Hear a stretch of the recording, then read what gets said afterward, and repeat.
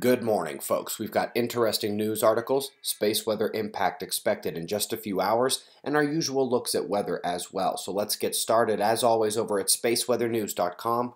We're looking at the calm last 24 hours on our star, like the pose of a golfer after the drive, motionless, watching his launch approach the target. Indeed, after the sun took a swing, we're seeing much quieter conditions in the solar flares, although we do see some blue positive polarity developing near the rear of that grouping as it heads for the limb. Something odd. NOAA took down DSCOVR for the CME impact and have gone to their backup reader, ACE. This displeases me due to hours long data gaps they better fill in with ground station tracking changes to go along with it.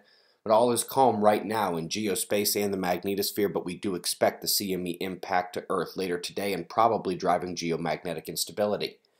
You will recall from yesterday, the last bit of their Enlil spiral is wrong as well. We'll be taking the coronal hole stream right after the CME, not seeing decreasing speed through the 17th.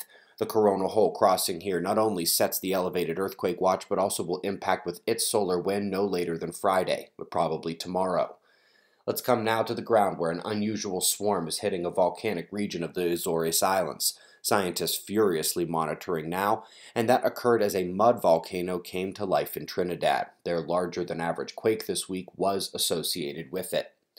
We've got our second subsurface tsunami generation article this week, but this one is about landslides.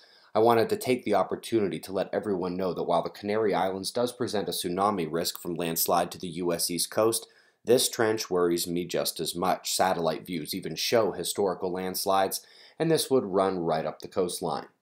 Fantastic article out about the Rosette Nebula. In a bit of a cosmic mystery, scientists have long wondered how the central cavity could be so small given the enormous star-forming violence ongoing there.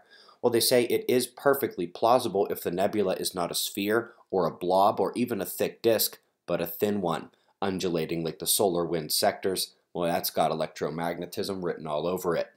Up next, we've got a great introduction for those struck by recent debris disk stories, almost like someone knew that many of you needed a beginner's course in the subject and kindly did a review of what's out there to learn. It's linked for you below the video.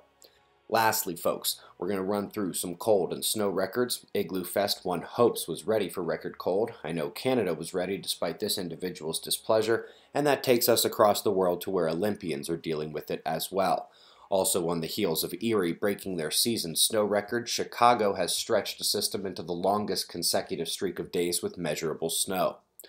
Folks, we've had a number of videos come out on Earth's magnetic reversal the last 10 days. They are linked for you right below this one. Website members, your 18th Deeper Look episode on the year is posted, and Observing the Frontier is this weekend. For those traveling, please be safe, and I will see you Friday night. We've got your wind maps and shots of our star to close. We greatly appreciate your support and we'll do this all again tomorrow, right here. But right now, it's 5:20 a.m. in the new Valley of the Sun. Eyes open, no fear. Be safe, everyone.